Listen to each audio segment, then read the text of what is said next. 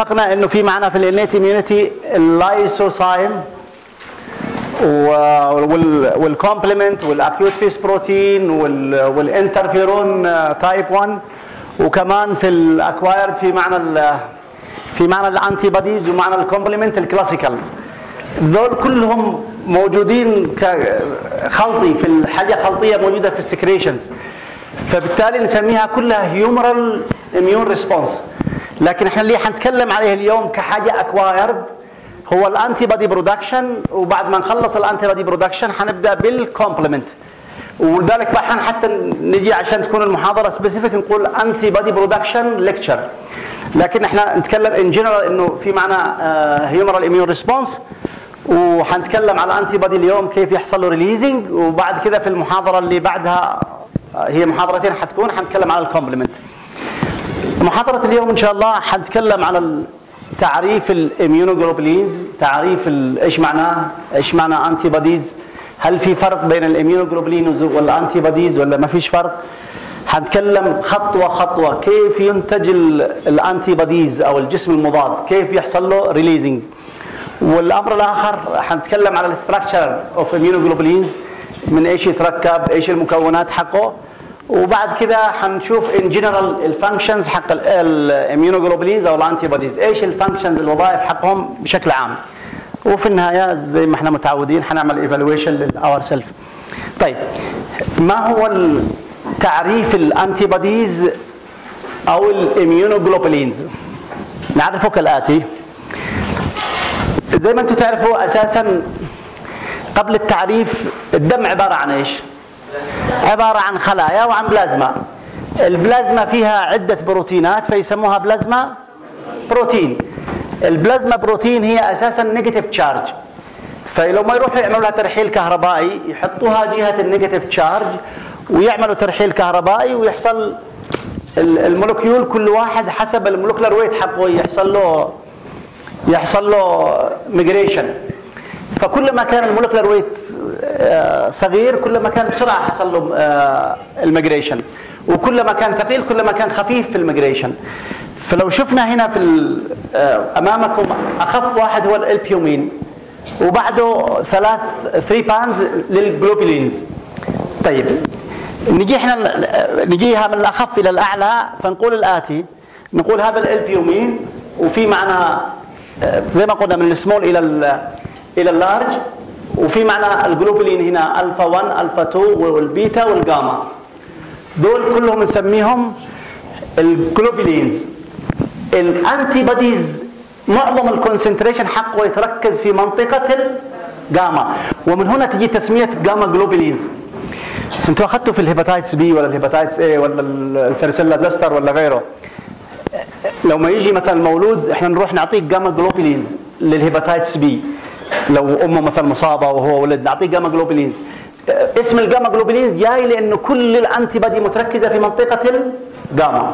جميل.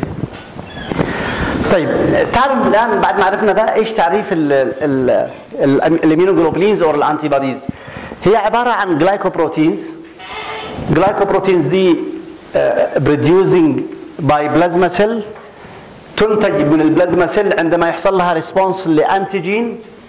هذه ال antibodies اللي اللي produced by ال plasma cell in response to antigen تساهم في ال destruction في لل extracellular pathogen ودي نقطة في منتهى الأهمية. ال antibody ما يقتل. ما يقتلش. لكنه يساعد أو contribute يساهم في ال في ال destruction of extracellular pathogen وهذه ال antibody موجودة أساسا في ال present in the in the in the serum and tissue fluids موجودة في السيرم وموجودة في ال tissue fluids. اذا نقولها in general بشكل عام. هي glycoprotein molecules that are produced by plasma cell in response to antigen to contribute in destruction of extracellular pathogen and present in the serum and tissue fluid اذا ببساطة هي glycoprotein produced by plasma cell الهدف منها لا تقتل الهدف منها تساعد في ال destruction of extra extracellular pathogen ودي نقطة في منتهى الأهمية. إحنا زي ما قلنا في ال intracellular ما لهاش سلطه لل immune system على ما, يحدث داخل الخلايا لكنه في ال extracellular pathogen. طيب. زي ما اتفقنا هل هناك role لل antibodies أو لل B cell في ال في ال intracellular pathogen؟ قلنا نعم لها دور كبير. لو ما يحصل replication زي ما أنتم شايفين هذه خلية دخل لها فيروس. الفيروس بدأ يحصل له replication في هذه الخلية. الخلية يحصل لها rupture لو ما تخرج الخلية مش الفيروسات دي حتروح تصيب خلية ثانية. ال antibodies الموجودة تعمل عملية neutralization وتعمل attachment وما تخليش هذا الفيروس يروح يصيب. فبالتالي له role كبيرة لكنه في ال extracellular space جميل. إحنا الآن عاوزين نعرف نفرق بين المصطلحات ال immunoglobulin وال antibodies ال gamma globulin إحنا اتفقنا عليها إنها هي منطقة الجاما اللي تركز فيها ال antibodies اذا إيش الفرق بين immunoglobulins و antibodies الفرق هو هذا لما يكون ال antibodies bound على cell أو free موجود free في السيرم أو في ال tissue fluid نسميه immunoglobulins وهو الاسم الاعم طبعا. immunoglobulin هو اسم عام لل antibodies فال immunoglobulin يحتمل إنه قد يكون ال antibody مرتبط على خلية أو قد يكون free. فنسميه immunoglobulins لكن ال antibodies فقط يكون free. لكن إحنا بالنسبة لنا في استخدامنا ما ما عاد تفرق. إحنا نقول antibodies antibodies المفهوم بالنسبة لنا واحد. لكن هذا فقط التفرقة بينهم. اذا زي ما قلنا ال immunoglobulins هو يا يكون ال antibodies موجود على الخلية مرتبط عليها يا يكون free. يا يكون free بينما ال antibodies لوحده معناه إنه free antibodies طيب تعالوا نشوف الخ... الآن خطوة خطوة. كيف حتنتج ال antibodies بس قبل ما نبدأ بالخطوات هذه اشتي أذكر بعض المفاهيم اللي تكلمنا عنها في ال basic. إحنا في حاجة يسموها clonal selection theory مش إحنا اتفقنا في زمان في ال basic إنه كل B cell تستطيع إنها تعمل unique antibodies أيوه. تمام. هذا الآن antigen دخل فيروح يشوف ال specific antibody اللي على ال receptor حق ال B cell فوجد ال B cell رقم number 2 فدي يحصل لها activation ويحصل لها proliferation وتتحول إلى plasma cell وتطلع antibodies تمام.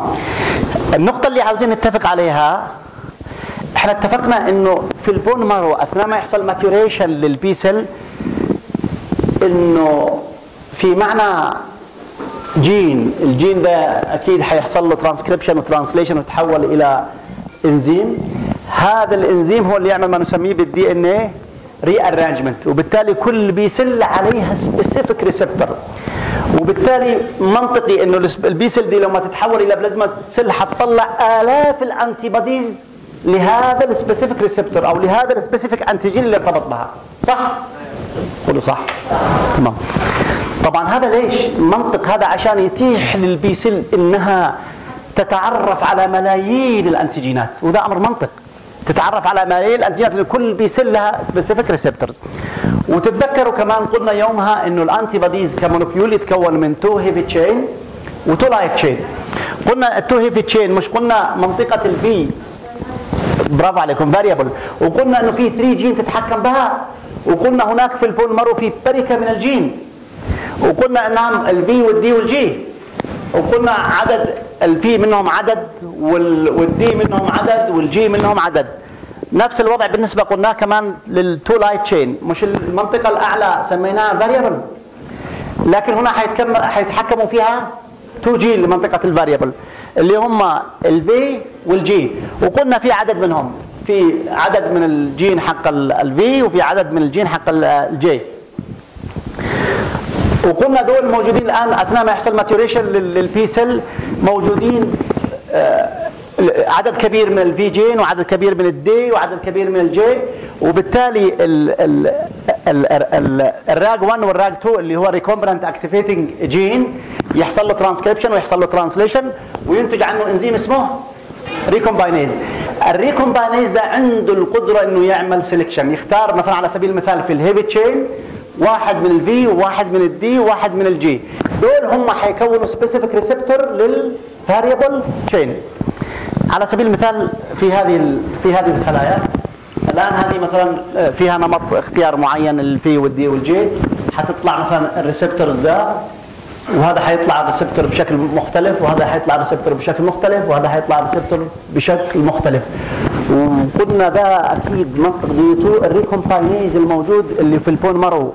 وده بنفس نفس اللي بيتم التعامل مع ال مع ال variable chain بالنسبة لل heavy وال light نفس الوضع بالنسبة لل T cell receptors صح ولا لا؟ معي ولا مش معي؟ تمام. طيب ال exercise ده تذكروا نحن تكلمنا يومه بس أعيده على الهواء كذا إيش اللي يحدث لو حصل mutation في ال RAG 1 وال RAG 2 تفضلوا. واحد. طيب واحد. ما, ما في antibody اثنين. آه مالكم؟ حتكون الوضع صعب. شوفوا في الامتحان ما نحفظش نفهم إحنا. صحيح مش موجود ال recombinase enzyme فبالتالي صحيح مش حيحصل أي antibodies موجود واحد وحاجة ثانية كمان حتحصل مش قلنا كمان هذه ال cell موجودة على ال T cell receptors نفس الوضع بالنسبة لل T cell receptor ضروري يشتغل ال recombinase فمش موجود خالص. حصل mutation فحيحصل defect في ال both. مش قلنا ال B وال T cell حيحصل فيهم defect وبالتالي مش قلنا إنه حيحصل disease اسمه إيش؟ severe combined immune deficiency طيب إذا حيكون في defect في ال humoral immunity وفي ال cell mediated immunity ليش حيكون هذا ال defect؟ لأنه ال specific receptors اللي على ال T cell واللي على ال B cell مش موجودين. فبالتالي لما يدخل antigen ما يقدرش يتعاملوا معه خالص. وبالتالي مش حيحصل أي immunity ومن هنا نقول عليها severe combined ليش combined؟ لأنه ضربت ال B ضربت ال T معي طيب. الآن تعالوا نتكلم على antibodies production خطوة خطوة. ركزوا معي لو في استفسار ارفعوا أيديكم ما في مشكلة. عشان ينتج ال antibody في two pathway يا يكون T cell dependent antigen إيش معناها؟ إنه ما يمكنش ينتج ال antibodies إلا أن تشارك T cell وذلك سموه T cell dependent antigen يعني ال antigen هذا عشان يطلع antibody معتمد على وما يمكنش تنتج antibody إلا بوجود؟ جميل. والأمر الآخر إنه T cell independent antigen في antibody حتطلع غير معتمدة على مشاركة تمام. حنبدأ بأول واحد. إذا ال T cell في في في الطريقة الأخرى أو في ال approach ال approach الثاني ال T cell ليست بالضرورة أن تشارك وليس لها معنى. ما لهاش لازمة خالص. تعالوا نشوف الأول.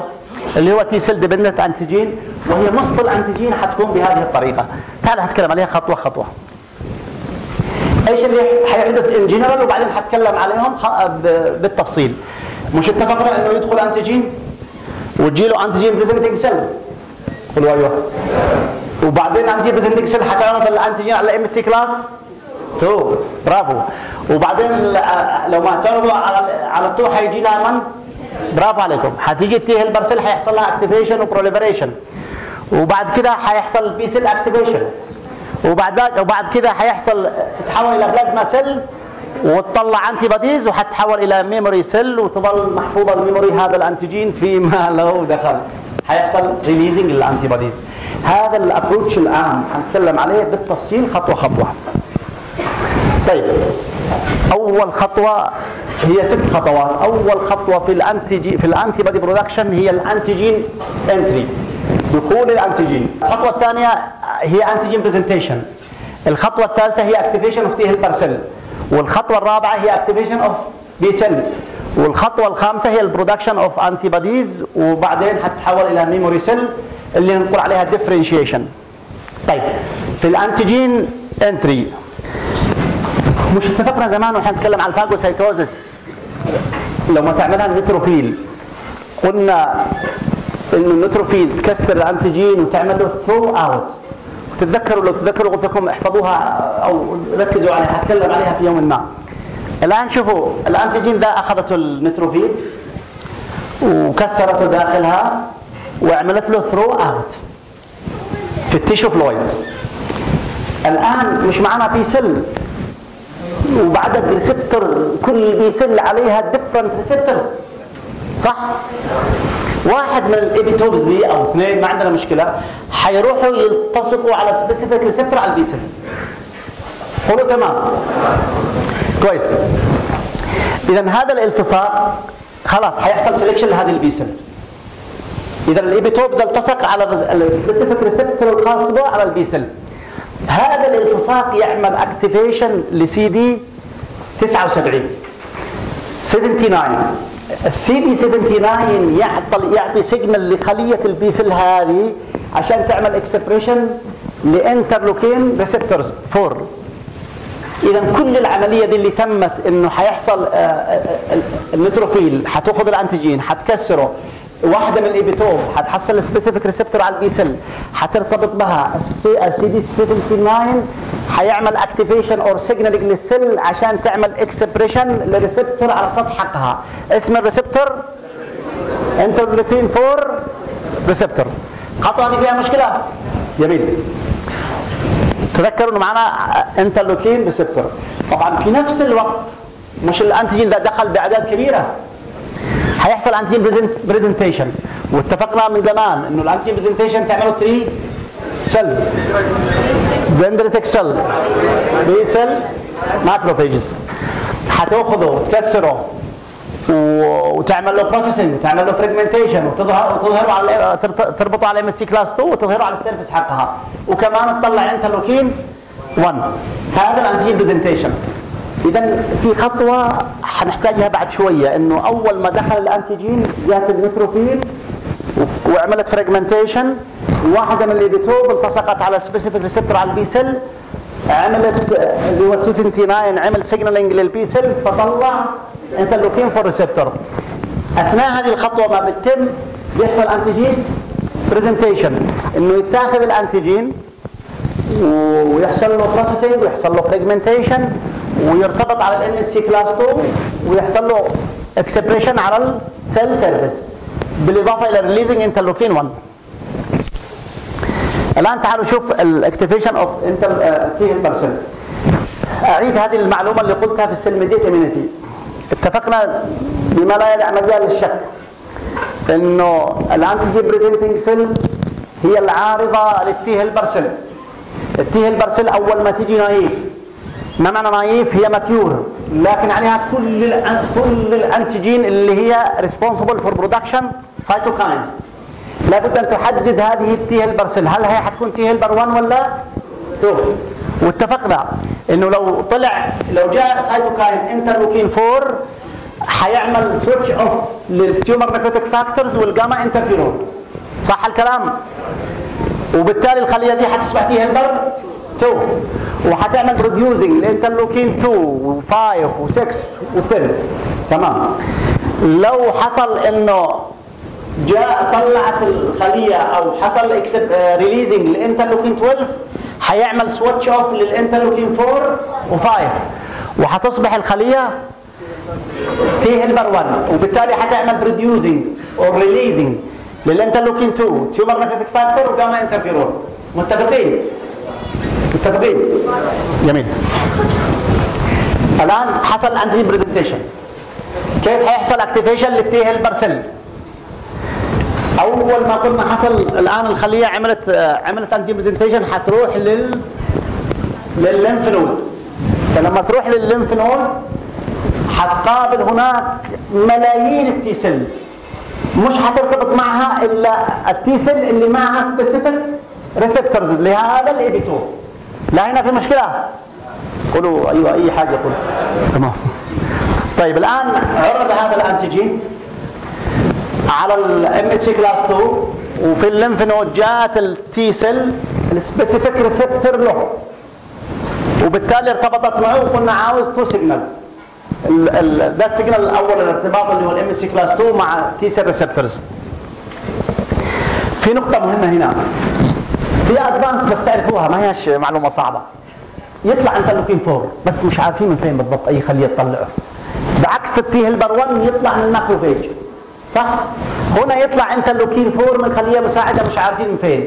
أول ما يطلع ال interleukin 4 ده خلاص حيعطي ال signal لهذه الخلية أن تصبح T helper 2 تمام. الآن ركزوا معي. خلاص الآن الخلية دي مش اتفقنا إن السي دي 3 تعطي signaling للخلية؟ هي هي موجودة في كل ال T cell وتعطي signal للخلية دي. فحتبدأ الخلية الارتباط الأول اللي هو ال MHC class 2 مع ال T cell receptor وال B 7 مع السي دي 28 والسي دي 40 مع السي دي 40 ligand حيعطي الخلية دي signaling إنها تعمل expression لأول جين اللي هو interleukin 2 receptors فده هيحصل له ترانسكريبشن وهيحصل له ترانسليشن وهيكون باوند على السيل هيكون باوند على السيل أهو.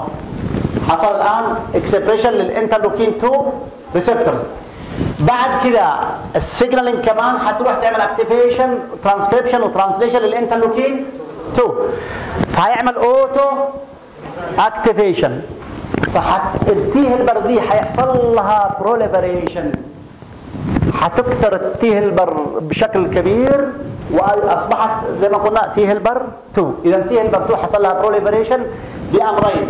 إن الخلية دي أعطت signaling إنه أول جين يحصل له activation اللي هو interleukin 2 receptor فحصل له ترانسكريبشن وحصل له ترانسليشن وأصبح على ال cell surface بعدين هيحصل activation لل other gene اللي هو interleukin 2 هيحصل auto activation وهيحصل proliferation لل T helper 2 في سؤال. جميل. طيب الآن تعالوا نشوف كيف هيحصل activation لل B cell مش اتفقنا من أول خطوة إنه أول ما عملت ال neutrophil engulfment لل antigen وكسرته إلى epitope وطلعته وجاء واحد epitope ارتبط على specific receptor على ال B cell وال CD 79 عمل signaling للخليه وطلعت ال interleukin 4 receptors جميل. الآن ال T helper 2 مش اتفقنا إنه من ضمن ال cytokines اللي طلعها interleukin 4 و5 جميل. تعالوا نشوف الآن حتطلع interleukin 4 انت interleukin 4 ده حيروح لل receptors اللي عليه حيعمل لل B cell دي proliferations لا هنا حلو. proliferations فال B cell دي حتكثر حيحصل لها proliferated وكمان وهي بتعمل proliferation حتعمل expression لل interleukin 5 receptors على سطحها. ال T helper 2 زي ما أنتم عارفين بتطلع interleukin 5 فحيطلع ال interleukin 5 وقد له specific receptor على ال proliferated B cell فحيلتصق ال... حيلتصق على ال... على ال receptors ومن هنا حيحصل ما نسميه بال differentiation حتتحول جزء من خلايا ال B cell دي إلى plasma cell وجزء منها حيتحول إلى memory cell ال antibodies ده اللي طلع طبعا أول antibody يطلع IgM في أي في أي pathogen وحقول لكم إن شاء الله في المحاضره القادمه ليش؟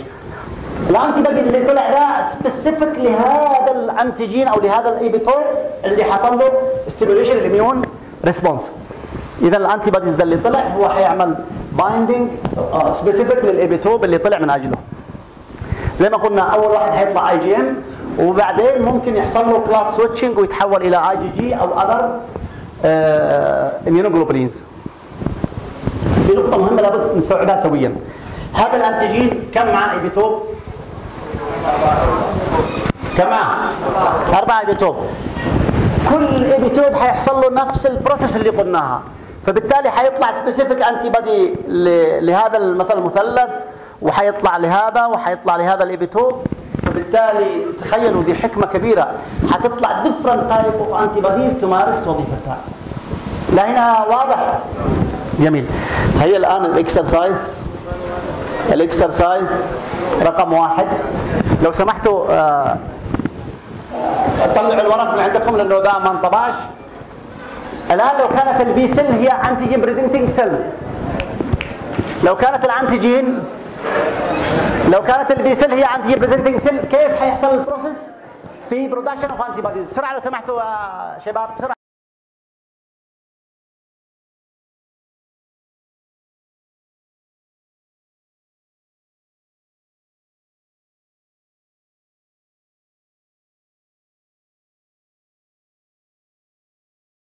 طيب.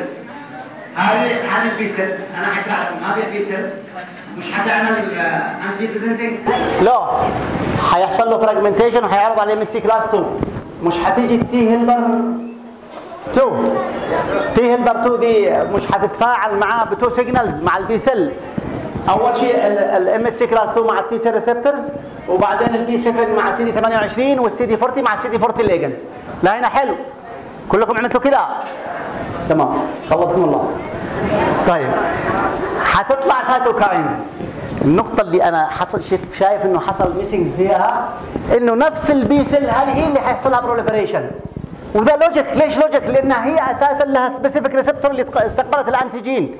ما معناها معناها إنه دي ضروري يحصل لها proliferation لأنه لما حتحول ل plasma cell حتطلع نفس ال antibody اللي استقبلت به ال epitope وبالتالي هو المطلوب. لأن أنا شفت إنه حيروح يدعي B cell هذه موجودة أساسا. فنفسها حيحصل لها proliferation وحيحصل طبعا آه، عدد كبير بال B cell حتحول بعدين زي ما قلنا إلى plasma cell وطلع antibodies وال memory cell واضحه الفكرة؟ ما فيش حاجة. طيب. شباب. شباب. الموضوع سهل جدا. مش الآن خليكم طيب. تسالوه إيه. كيف تسالوه بيابرو الموضوع سهل. epitope استقبلته B cell receptors أليس من المنطق وال logic إنه هذه ال B cell معناها انها ال antibody اللي حتطلعها حتكون specific لهذا ال epitope صح ولا لا؟ خلاص. اذا الأمر الآخر إنه حيحصل حيحصل إنه ال T helper cell حتيجي. حتتفاعل مع هذه حتتفاعل مع هذه الخلية ال B cell بعدين حتروح تطلع cytokine. ال cytokine حتعمل proliferation لهذه ال B cell اللي ارتبطت. وبالتالي حتتحول إلى plasma cell وحتطلع antibodies وحيحصل ما نسميها production لل antibodies مفهوم هنا ولا هذا مش مفهوم؟ في سؤال تفضلوا. في سؤال. واضح. طيب السؤال الثاني. لو سمحتوا آه هذا معه أظن حق الأكسرسايز.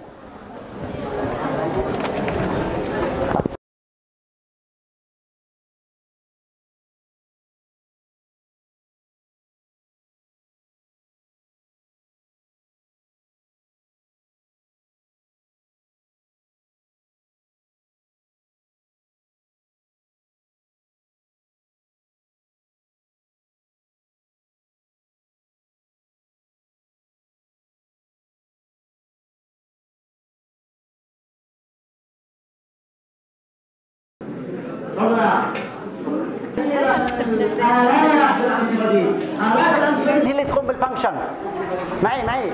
واضح. إذا صحيح ال B cell 10% لكن ليست ال function هي اللي على ال B cell نفسها لأنها حتحول إلى plasma cell.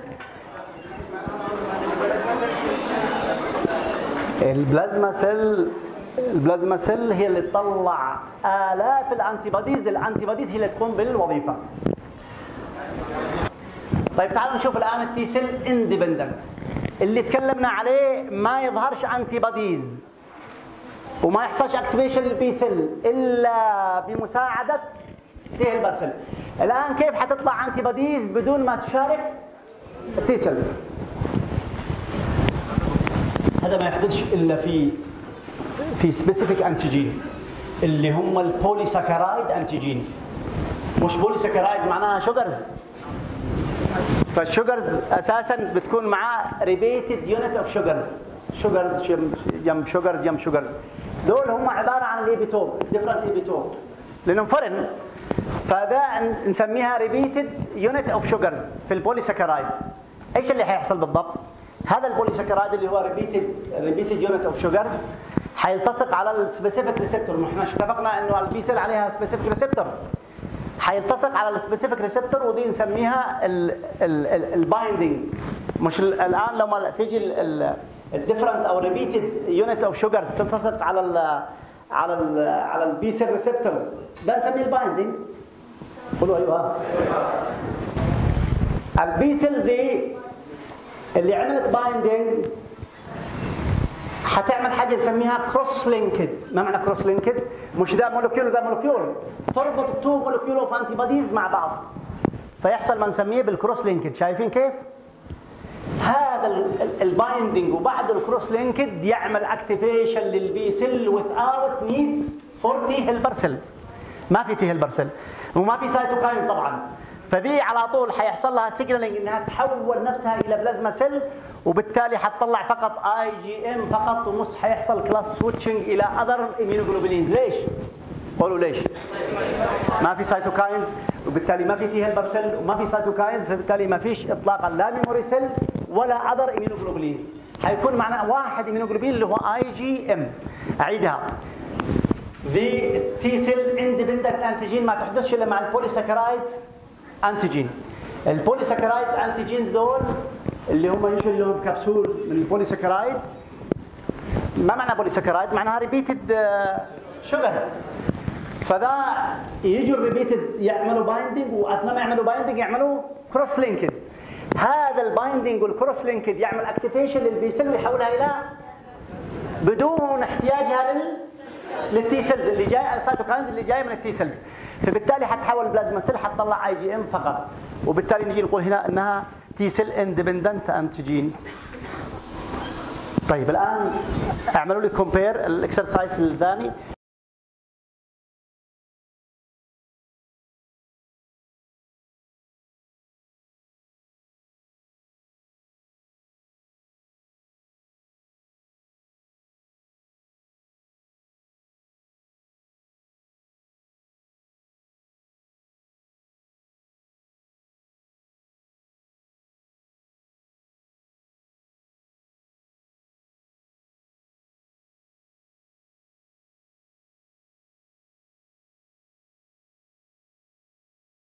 طيب ركزوا معي لو سمحتوا.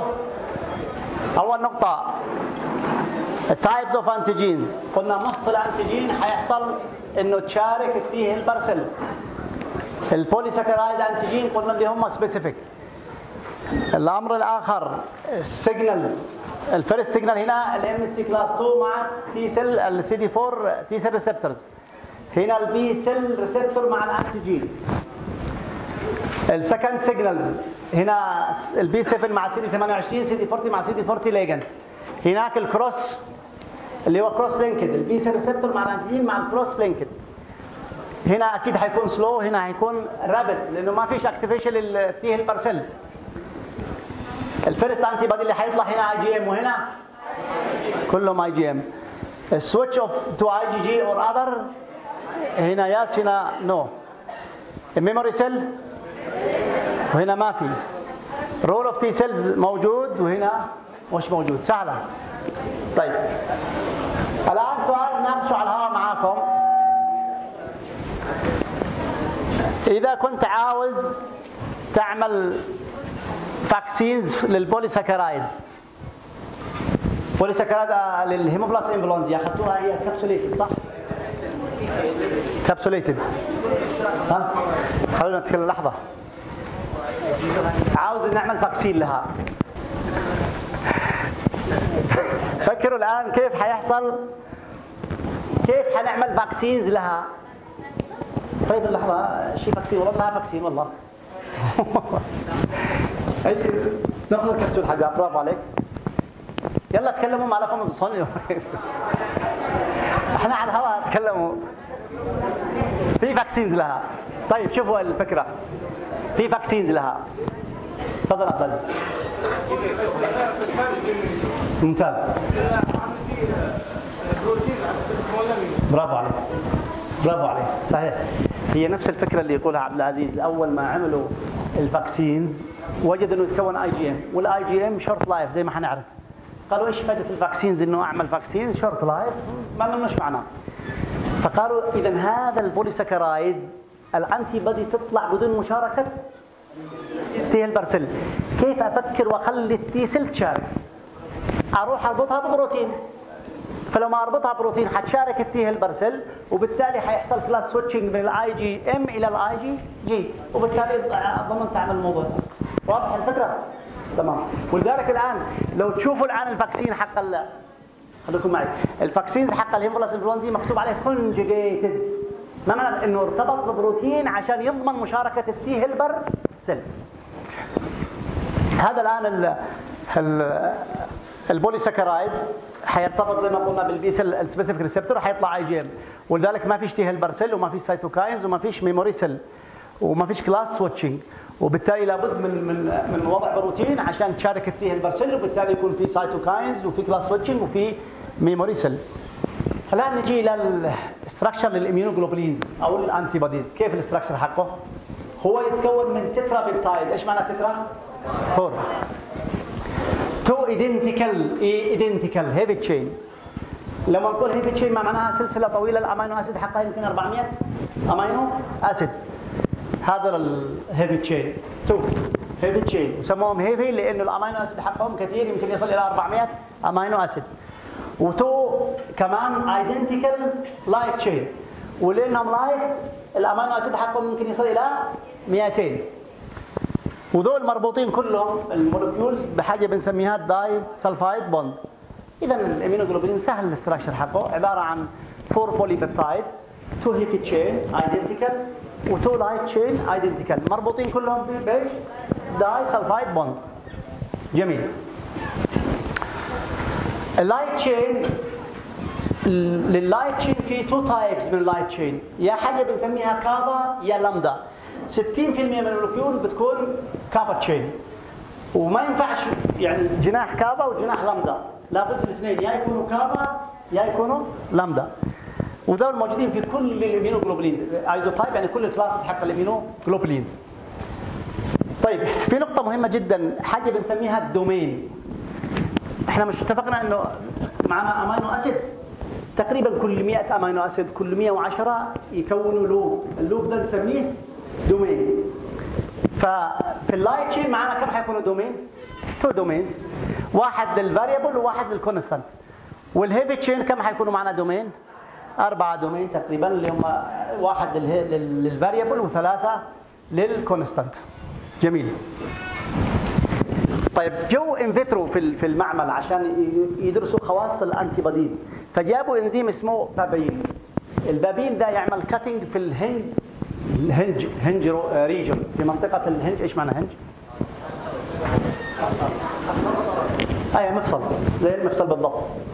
فراح قسم ال molecule إلى إلى two part ال part الأعلى يسموه Fab يسموه fragment antigen binding ال part الأعلى وال part اللي تحت يسموه fragment ال Fc وهي ال C جاية من عدة تسميات لكنها الأساس التسمية لو ما حطوه في buffer معين يعمل كريستال شكله زي الكريستال فسموه Fc الجزء اللي تحت مجموعة الكربوكسيل والجزء اللي فوق مجموعة الامينو مش الامينو ال amino acid تركيب ال structure حقه في مجموعة الامينو ومجموعة الكربوكسي في ال Fc portion تحت في معاها مجموعة الكربوكسي وال وال وال Fab حتكون مجموعة الامينو طيب. في منطق مهم جدا ركزوا عليه في النقطة دي. ال Fc portion إذا اختلف السلسلة حق ال heavy chain تختلف ال function ولذلك إحنا معانا 5 types of immunoglobulins اللي باسم كلمة ماجد أو جامد. جامد أو ماجد. دول كل إذا اختلفت السلسلة ال heavy chain تختلف ال function لكن النقطة المهمة كمان إنه دي إحنا مش اتفقنا إنها C 2 ودي كمان C 3 ال C 2 خاصة بال activation لل complement وال C 3 هي اللي بتعمل ال specific receptor عشان تعمل opsonization وتعمل ال ADCC طبعا ده منطقة الاس اللي منطقة الأعلى سميناها منطقة ال Fab. منطقة ال Fab كلها سواء كانت ال variable أو ال constant في ال heavy chain أو في ال light chain في ثلاثة مصطلحات لابد نستوعبهم. في حاجة بنسميها paratope و idiotype وال isotype طيب ركزوا معي لو سمحتوا. هذه المنطقة نسميها ال Fab المنطقة كلها. المنطقة دي إيش اللي فيها؟ فيها variable هذه الصفراء variable light chain و constant light chain. والمنطقة الصفراء حق ال heavy variable heavy و constant heavy. دي نسميها كلها منطقة ال Fab اللي يسموها antigen binding أو fragment antigen binding كويس؟ المنطقة دي فقط حق الفاريبل بتوين اللايت وبتوين الهيفي نسميها ال antigen binding site أو نقول عليها ال paratope. اذا ال Fab كل المنطقة سواء variable أو constant في ال light أو في ال heavy. المنطقة ال variable في ال light أو في ال heavy نسميها antigen binding site أو نسميها paratope. أيوه ال idiotypes إيش هي؟ مش اتفقنا إحنا وإحنا زمان قلنا إنه في 3 regions في منطقة ال light chain ال three regions دول نسميهم hypervariable regions ال hypervariable regions دول هم complementary determining regions اللي بيكونوا أكيد complementary لل epitope مش اللي بيرتبط لو ما يرتبط الآن ال antigen مش يرتبط between ال variable light وال variable heavy الارتباط بيكون في 3 regions اللي نسميهم hypervariable regions أو نسميهم complementary determining regions هذا نسميهم ال idiotypes إذا ما هو ال idiotypes هو 3 hypervariable regions في نقطة مهمة جدا. لو أخذنا 3 variable hypervariable regions دول وحقناهم في فار مش حيطلع لهم antibodies إيش نسمي ال antibodies ده؟ anti idiotype س مش هو هم idiotype أساسا. فنسمي ال antibody اللي حيطلع against 3 regions دول against ال hypervariable region دول نسميه anti idiotype طيب إحنا اتفقنا الآن في معنى اي جي ام واي جي جي واي جي دي واي جي اي واي جي اي السلسله حق ال IgM ليش قلنا عليها ميو لأنه لها ال arrangement حق ال amino acid يختلف عن الجاما. فبالتالي دي سميناها سلسلة ميو ودي سميناها سلسلة جاما ودي سميناها سلسلة دلتا ودي إبسلون ودي ألفا. اذا إيش ال change اللي حاصل فيهم؟ ال change في ترتيب ال amino acids و according ال arrangement of amino acid حتختلف ال function حقهم. ده هنا كويس. اذا الخلاف الأساسي في في ال function هو يعتمد على ال Fc portion ليش ال Fc portion لأنه فيه ال constant regions وال constant regions هي اللي تحدد نوع ال class.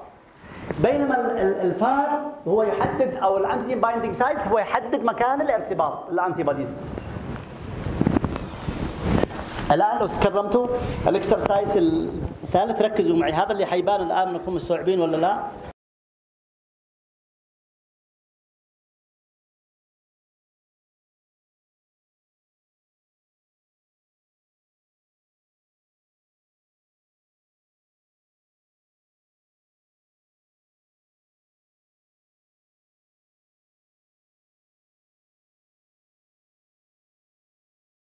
طيب ركزوا معي لو سمحتوا. الآن شوفوا صححوا لانفسكم هذا الفهم صح ولا لا؟ وهذا؟ antigen binding site أو paratope. وهذا؟ disulfide bond. هذول الثلاثة؟ اللي هم اديتايف اور كومبلمنتري determining regions hyper variable regions هذا الهنج region تمام هذا سي بورشن طيب السؤال اللي بعده إيش تسمع اجاباتكم لو كان if, the, uh, if there are five different classes of antibodies for the same epitope is there is difference in immune response يا أخي نفسي أسمع صاحبي لو سمحتوا يا أخي نفسي أسمعك. صح ولا غلط؟ في immune response ولا ما في شيء؟ نفس ال immune response قول أي حاجة. نفسه. إيش تقولوا؟ نفس ال immune response يا خساره التعليمي. مش مش اتفقنا إنه according ال type of immunoglobulins تختلف ال function فبالتالي حيختلف ال immune response واحد ممكن يعمل activation complement واحد ممكن يعمل ADCC واحد ممكن يعمل opsonization كيف فكيف حيكون the same ال immune response حيختلف according ال according ال Fc portion according ال type أو ال isotypes according ال heavy chain معاي؟ كلكم تقولوا صح. اذا ال biological functions خلاص يا شباب. ال biological function حتختلف؟ خلاص. حتختلف according type of heavy chain. لو كانت mu لو كانت جاما لو كانت دلتا حتختلف according ال types of heavy chain. زي ما قلنا complement activation حيعملوها اي جي ام اي جي جي فقط اي جي جي الاي دي سي سي فقط اي جي جي neutralization اي جي اي جي جي واي جي اي اجلوتينيشن اي جي ام وكمان ممكن اي جي جي فهي بالتأكيد حتختلف according ال heavy chain هذا زي ما قلنا antigen binding site وشوفوا ركزوا معي على الالوان هذه ال Fc portion فكلما تغيرت ال heavy chain كلما تغيرت ال functions حق ال immunoglobulins تفضلي. لا. كويس برافو عليك شباب ركزوا في سؤال مهم هنا. الآن طلع antibody IgM مش ال Fab أو ال antigen binding site حيرتبط بال antibodies بال antigen قولوا أيوه. ونوع السلسلة إيش؟ IgM أول ما تطلع اللي هي mu. مش لو ما يحصل production cytokines حتغير السلسلة اللي هي ال mu إلى جاما حتحول إلى اي جي جي لكن ال antigen binding site نفسه. فبالتالي نفس ال binding لكن تغيرت السلسلة فبالتالي حيتغير ال function طيب الآن تعالوا نشوف آخر حاجة function of antibodies زي ما قلنا ال antibodies لا تقتل؟ ال antibodies تساعد في عملية القتل. أول أمر تعمل ما نسميه بال agglutination طبعا in general function بشكل عام تعمل agglutination agglutination يعملوها؟ اي جي ام أو اي جي جي اي جي ام بشكل أكبر طبعا. ما معنى agglutination يعملوا تراص فبالتالي ده حيعمل prevent لل disseminated حيعمل localized localization لل infection فدي أول function ثاني function ال antibodies in general حتعمل neutralization فبالتالي مش حتخلي ال organism يلتصق على ال host cell حقنا. سواء كان neutralization لل toxin أو للفيروس أو للبكتيريا. وذول usually by ال IgG وال secretory ال secretory IgA هذا ال toxin مثلا. شايفين ال toxin دام المفروض يلتصق على ال our host cell حقنا. ال antibodies لما يطلع يروح يعمل له neutralization prevent ال attachment فبالتالي واحدة من ال function إنه يعمل neutralization لل toxins فبالتالي مش ال toxin ده مش حيلتصق على ال our cell حقنا وبالتالي عملنا له prevent ال attachment الفيروس الفيروس مش قلنا في ال extracellular space لما يخرج من الخلية يروح يلتصق على other cell ال antibodies الموجودة تعمل له neutralization ما يخليش يروح يلتصق على ال other cells البكتيريا كمان لو ما تطلع antibody البكتيريا البكتيريا ضروري يحصل لها attachment فتجي ال antibodies تلتصق بالبكتيريا وما تخليهاش تعمل ال attachment كمان تعمل enhancing بال phagocytosis إيش معنى opsonization معناها enhancing phagocytosis شوفوا تتذكروا زمان قلنا إنه يحصل between ال receptor attachment ويحصل phagocytosis هنا دخل وسيط هذا الوسيط كأنه يمسك ال organism ويدخله إلى داخل. اذا حصل enhancing لل phagocytosis هذا ال enhancing يسميه opsonization إذا ما معنى opsonization إنه enhancing لل ولا وحتى يتم ال opsonization لابد من وسيط. الوسيط هنا antibodies في واحد من ال complement fragment يسموه C3b برضه كمان يعمل وسيط في. لل لل لل phagocytosis ونسميه opsonization هذه ال opsonization الآن البكتيريا دي مثلا لو كانت capsulated ولا غيره ظهر لها antibodies ال antibodies حترتبط بال organism ده.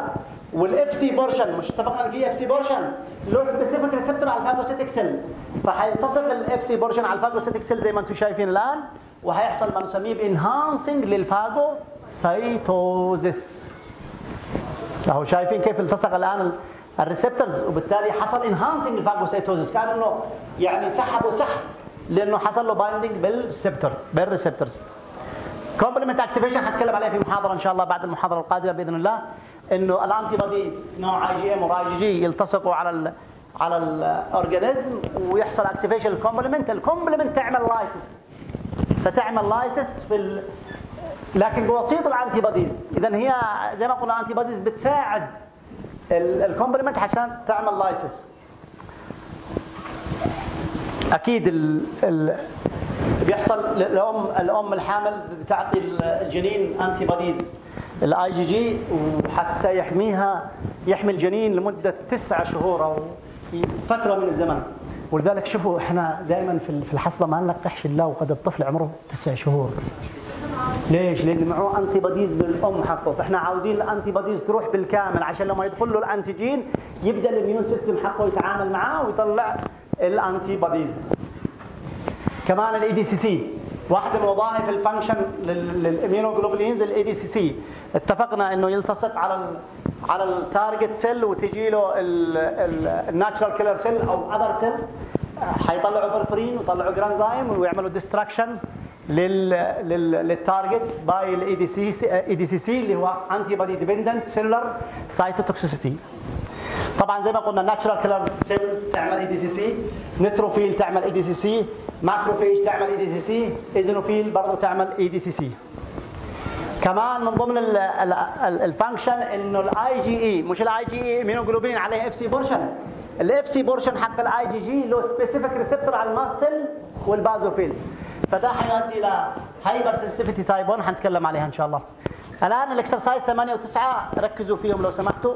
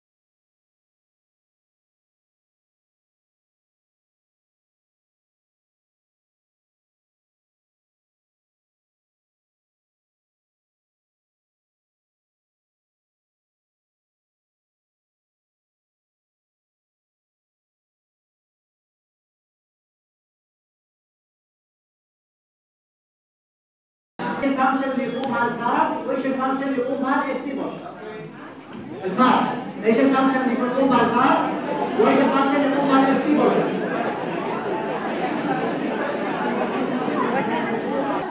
آه هذه اللغات كلها الان بالفار مش بالمنطق الفار هو يعمل كلايزيشن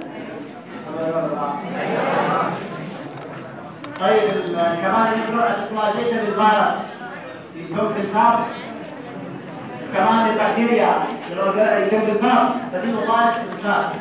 الاجلوتينيشن يتم أساسا بال- بالفم والمرضى جينيتي بروبلاسيسا مش الانتي باديز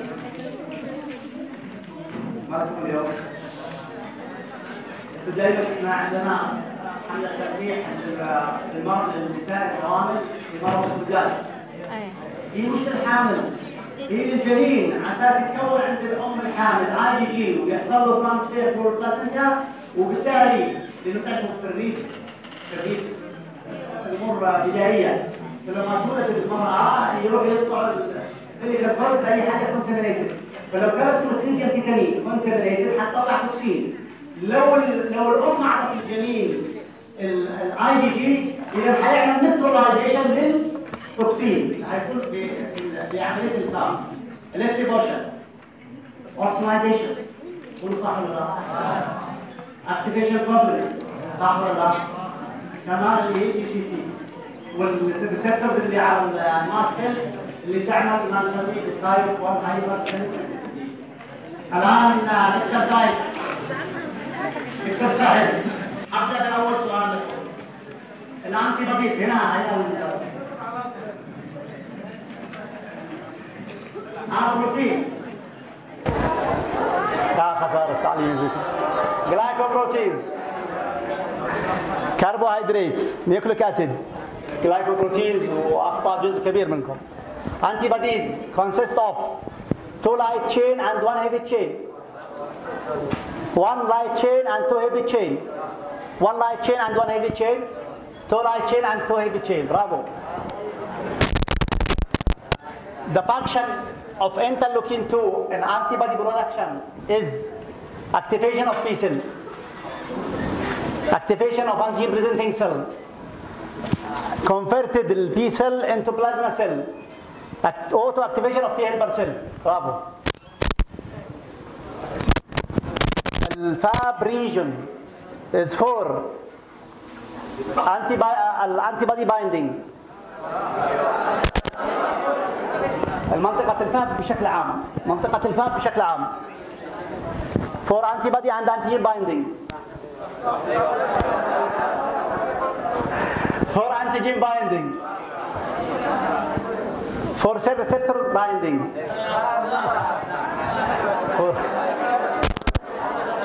يلا واحدة بواحدة. C region is light heavy chain for biological function إحنا على الهواء يا اخواتي for biological function light and heavy chain للاسف غلطتوا كمان heavy chain واكيد for biological function خلاص the hyper variable region reside تسكن in between two light chain between the constant light and the constant heavy chain حتى انتهى between variable light and uh, variable heavy chain between constant light chain أكيد between variable light variable heavy طيب ركزوا معي the sequence of production antibodies بالتي dependent T cell dependent R ماكروفاج السيكونس حقها ماكروفاج T helper cell B cell plasma cell antibodies T helper cell B cell plasma cell antibodies B cell T helper cell plasma cell antibodies T helper cell plasma cell B cell antibodies انتين صح ها جاوبتوهم وعملنا فيها exercise بس sequence a T independent polysaccharide antigens T helper cell B cell plasma cell antibodies polysaccharide antigen T helper cell B cell plasma cell antibodies البوليساكرايد انتيجين بي سيل بلازما سيل antibodies صحيح the function of interleukin 4 in antibody production is B cell differentiation factor of T helper cell حتى انتهي B cell growth factors activation of anti presenting cell أكيد البي cell growth factors اخر سؤال الفانكشن اوف انترلوكين 5 in antibody production is B cell differentiation factors auto activation T helper cell B cell growth factor activation of anti presenting cell أكيد بي cell شكرا جزيلا لكم. شكرا شكرا جزيلا. لكم